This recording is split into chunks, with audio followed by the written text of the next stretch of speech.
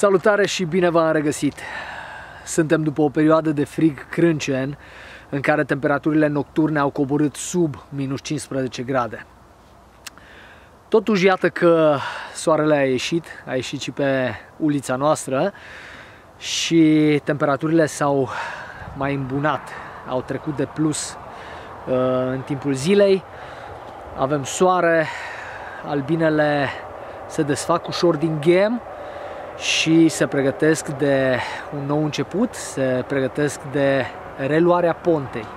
Scopul acestui video este de a te ajuta să identifici cât mai ușor suplimentele de care tu ai nevoie în această perioadă, uh, perioadă în care mărcile își reiau activitatea. Cu alte cuvinte vom uh, vorbi despre turte. Vom vorbi despre turtele produse din zahăr, din uh, zahărul obținut din zaharoză, și turtele produse din glucoză și fructoză obținute din amidonul cerealelor. Vom da și câteva exemple de turte produse din zahăr, uh, cum ar fi apifonda, uh, apiluc, apivit, uh, podișor, honeybee pro, BKV. Astea sunt niște turte pe care le puteți găsi pe piața României, le puteți găsi destul de regulat, cam în toată cam în tot spațiul României.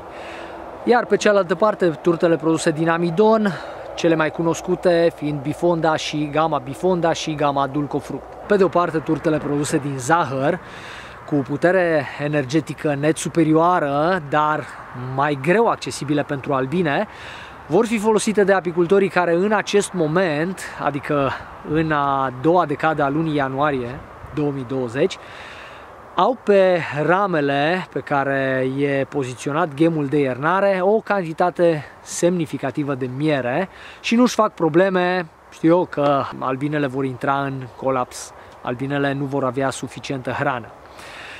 Pe de altă parte, uh, turtele produse din amidon și fructoză, deci gata invertite, mult mai ușor asimilabile de către corpul albinei, vor fi folosite de către apicultorii care au în acest moment uh, lipsuri de hrană pe ramele pe care e poziționat gemul de iernare.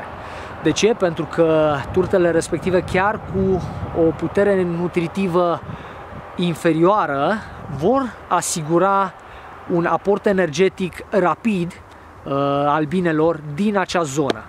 Sper că informațiile pe care ți le-am oferit îți sunt utile. Așa că dă mai departe la apicultorii care încă nu au apucat să le vadă.